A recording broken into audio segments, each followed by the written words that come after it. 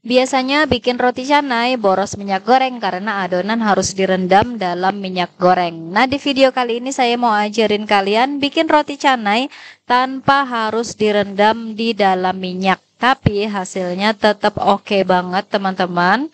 Ini dia roti canainya tetap lembut, gurih, luarnya crispy-crispy, dalamnya tetap lembut dan dia berserat seperti ini teman-teman. Sekarang langsung aja yuk kita simak seperti apa cara pembuatannya. Oke, pertama ini saya timbang tepung terigu protein tinggi dulu. Saya pakai cakra kembar, ini 300 gram. Kemudian saya tambahkan garam seperempat sendok teh, gula seperempat sendok teh, dan juga baking powder seperempat sendok teh. Kemudian langsung aja kita tuang susu cair full cream di sini sebanyak 180 gram.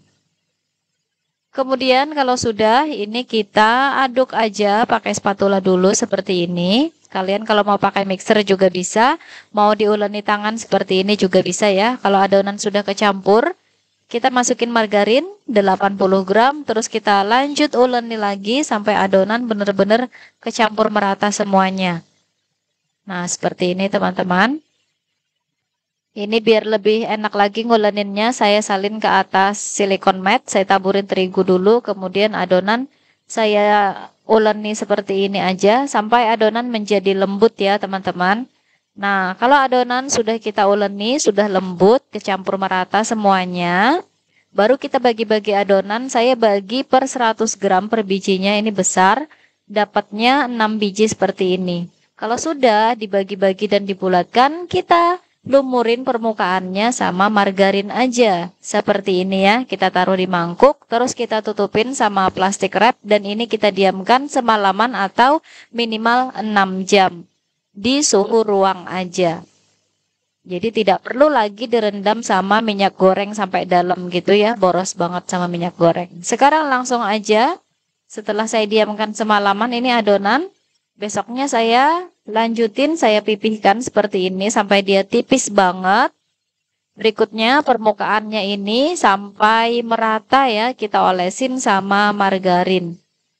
Seperti ini teman-teman. Kalau kalian mau pakai butter juga bisa ya. Terus adonan ini saya kerat-kerat. Ini pakai cutternya pizza. Kalian mau pakai pisau biasa juga bisa. Terus kalau sudah dikerat-kerat seperti ini, sekarang adonan ini kita gulung. Caranya seperti ini teman-teman. Nah, sampai ujung digulung, kemudian kita ambil dan kita pelintir-pelintir seperti ini. Boleh sambil dihempas-hempaskan di atas alas ya, supaya dia jadi lebih lentur lagi. Sambil kita tarik-tarik, sambil dihempas-hempaskan. Terus bagian ujungnya kita gulung berlawanan arah seperti ini. Kalau sudah, kita tumpuk menjadi dua. Sudah deh jadi satu biji roti canainya atau roti Mariam. Lanjutkan langkah tadi sampai semuanya selesai dan ini sebelum kita masak, kita diamkan dulu selama 30 menitan ya. Nah, sebelum dimasak kita pipihkan aja seperti ini. Kalau sudah pipih, baru deh kita taruh ke grill pan atau ke fry pan. Kita panggang. Ini saya tidak perlu kasih olesan apa-apa lagi, langsung aja ditaruh seperti ini.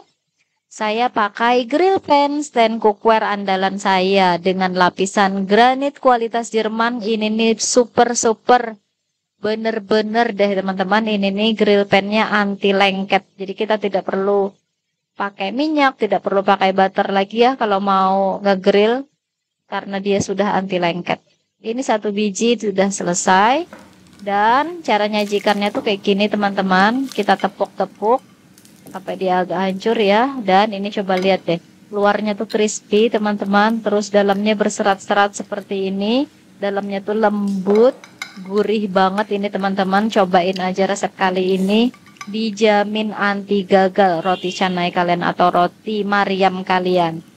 Bisa banget buat jualan. Kalau kalian mau bikin frozen juga bisa. Tinggal kalian simpan di dalam wadah tertutup ya kemudian dibekukan tapi ngegrillnya tadi jangan sampai matang, setengah matang aja kalau kalian mau bekukan. Selamat mencoba resep kali ini, semoga sukses buat kalian yang mau kasih masukan next bikin apa lagi silahkan kalian tulis aja di kolom komentar video ini. Roti canainya disajikan sama kari ayam. Enak banget ini teman-teman. Selamat mencoba ya. Wassalamualaikum warahmatullahi wabarakatuh.